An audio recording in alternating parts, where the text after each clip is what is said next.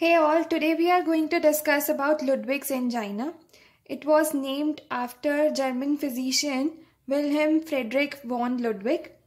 It is basically a type of cellulitis in which all the submandibular spaces are involved, right? So it is basically acute, potentially life-threatening, toxic cellulitis in which all the submandibular spaces are involved such as sublingual space, submental space and submandibular space. So these are basically submandibular spaces. Submandibular space, sublingual and the submental spaces. So uh, we, we will call a cellulitis as Ludwig's angina only when all the three submandibular spaces are involved. The submandibular, the sublingual and the submental.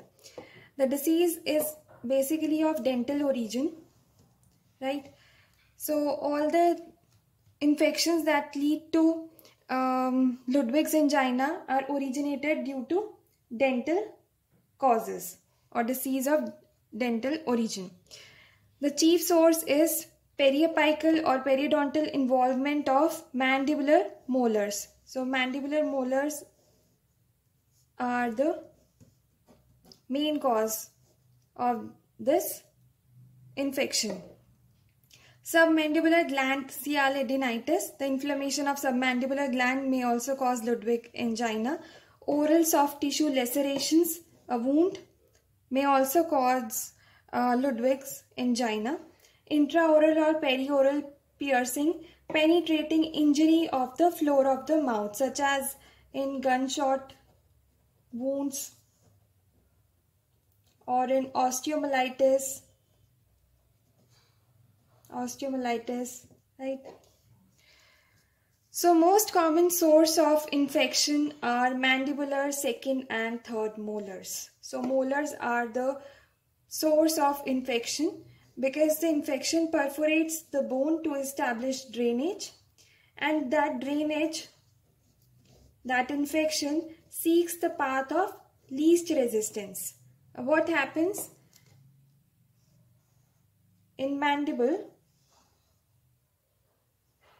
the outer cortical bone is basically very thick. Bone is very thick basically. And the inner one is basically the perforated one.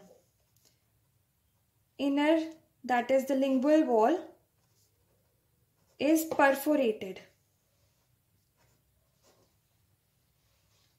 So the infection will spread inwards that is towards the lingual wall because it is basically very thin and it is perforated right that's why the infection will seek the path of least resistance towards the inner side right so basically if the apices are situated, apices of the mandibular molars, if uh, these are situated below mylohyoid ridge, it will cause infection in submandibular space and the apices are situated below mylohyoid ridge in around 65% of the teeth.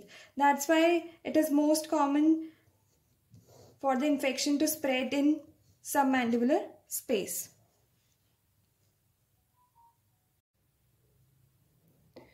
Now, if the apices are located, as we know that if it is located below the mylohyoid ridge, apices are located below mylohyoid ridge, so submandibular space infection will occur. But what if the apices are located above mylohyoid ridge? Then sublingual space infection will occur, right?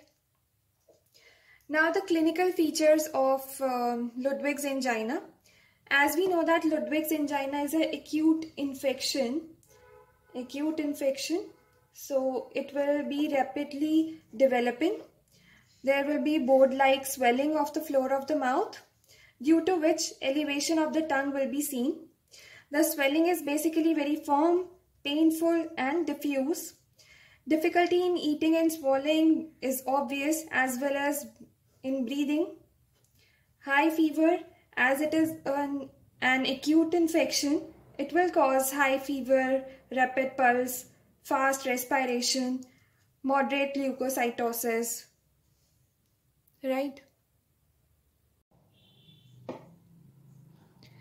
So as we know that in Ludwig's angina, the swelling is diffuse one, diffuse. So it will not only uh, involve the submandibular spaces, it may also involve the neck, it may also cause edema of the glottis, right? So there is a serious risk of death by suffocation, by choking because of this swelling right infection may spread to the parapharyngeal spaces to the carotid sheath or to the pterygopalatine fossa cavernous sinus thrombosis may occur after uh, this um, Ludwig's angina if it keep it if it keeps on spreading right?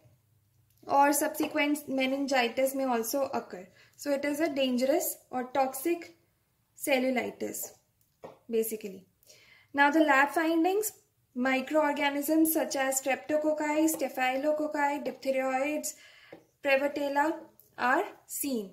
So basically melaninogenicus, oralis or corrodens, these are the types of prevotella or species that are seen in lab findings. The disease is basically non-specific mixed infection as it involves many microorganisms. Right? Now the treatment part.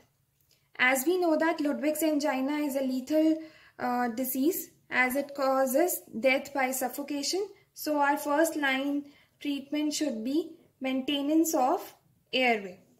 Maintenance of airway. Now intense and prolonged antibiotic therapy is uh, antibiotic therapy is required. Now treating the cause should be there, right? Treating the cause.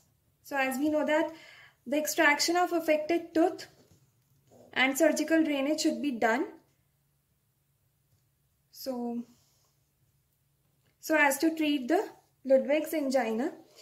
Now the prognosis, there is high mortality rate due to asphyxiation or due to choking or due to suffocation and severe sepsis. So the prognosis are basically poor in Ludwig's angina. Thank you.